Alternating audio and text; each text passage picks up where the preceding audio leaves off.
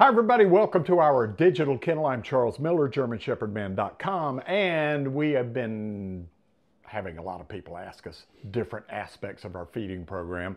Our feeding program, as I have said, a lot of moving parts. One of those moving parts is coconut oil.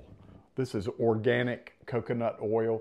Really, really good for skin health, coat health, just amazing. And I just kind of would wanted to go over how we give it and uh, how awesome it is, how easy it is to give. Just a little small, kind of like a teaspoon type spoon, and you can take this and get about that much.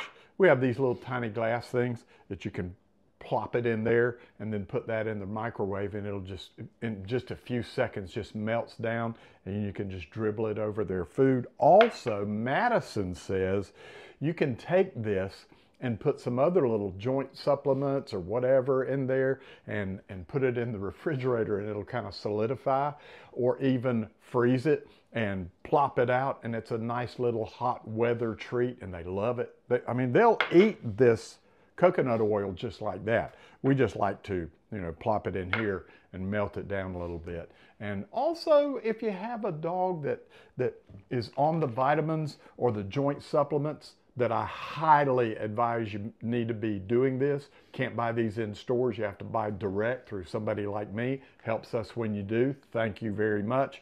But this hip supplement, NuJoint Plus or NuJoint DS, double strength, and the vitamins, of course.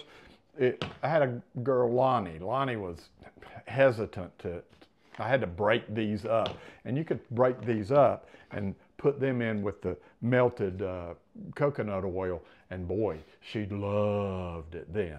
So, you know, this, this has a couple of different aspects to it that not only has good health, but it can help you give supplements that maybe they're hesitant to eat. So, anything else, Madison? That was great. Thank you for that suggestion. Almost forgot about this. Coconut oil for your German Shepherd. Thank all of you from all of us. Charles Miller, GermanShepherdMan.com.